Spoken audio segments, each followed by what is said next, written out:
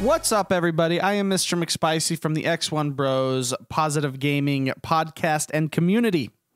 I want to help again. Uh, I want to do a tips and tricks, uh, I guess, video of uh, Fortnite Battle Royale.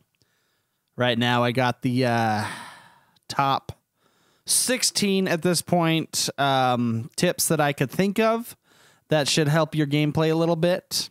Enjoy. Number one populated areas equals lots of dead players.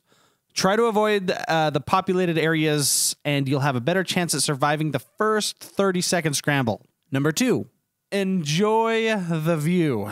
By that I mean, don't jump out of the bus immediately.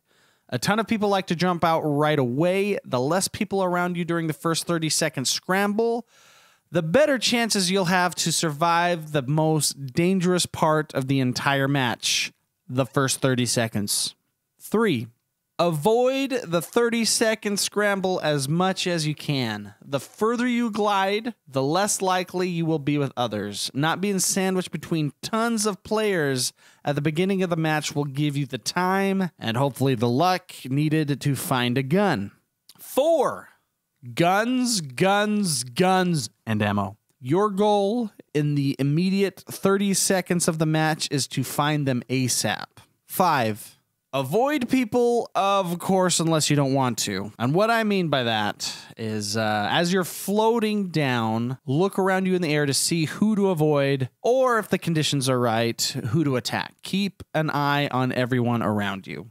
Six, try to quote unquote Pilotwings the landing. And what I mean by that is to try to land right at the entrance or on the roof of a building. Seven, memorization. Try to memorize the locations you visit for loot spots and, of course, chests. Eight, gear up for each situation. I like to think that I have four permanent slots in my inventory and one bonus slot. I like to have a shotgun for close range, an AR for medium to long range, a sniper for long, and a healing slot. The fifth slot in my brain, I say, is my bonus slot for the boom booms or for special healing.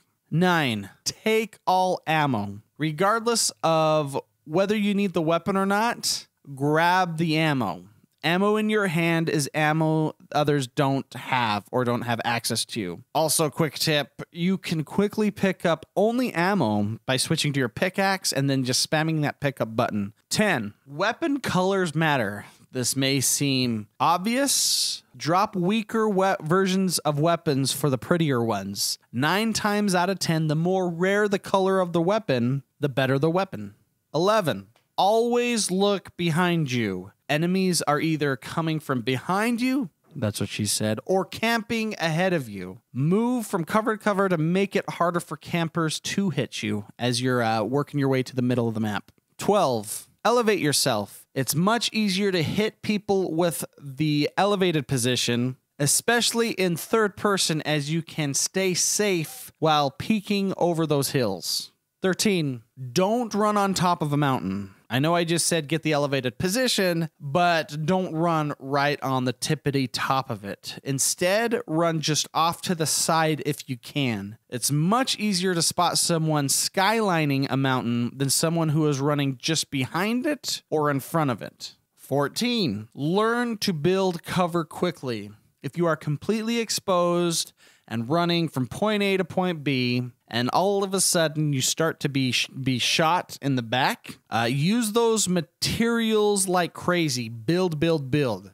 It's far better to overbuild and be alive than to underbuild and be dead. 15. Widen that final build in the center of the circle. A one by one tower is easily brought down with a good old fashioned boom boom rocket launcher at the ground floor. Build wider. 16. Last and final tip I have is simply you don't need to kill everyone to win. Every time you fight someone, you increase the chances of someone killing you. Yes, you'll get better. Yes, you'll understand situations more. But sometimes, especially in that first 30 second scramble, you can avoid people and stay alive.